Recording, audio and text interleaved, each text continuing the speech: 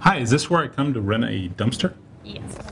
We have three sizes. We have a 6 by 4 by 4 which holds up to half a ton.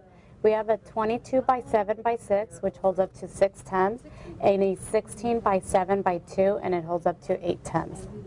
Are there any restrictions? Yes, no hazardous waste, tires, or computers in the bin, and have it leveled full, nothing sticking out. Great. Thank you very much.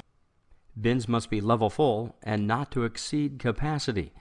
This guideline is strictly enforced. Overfull or overweight bins will not be removed. The customer will be held responsible for correcting the problem.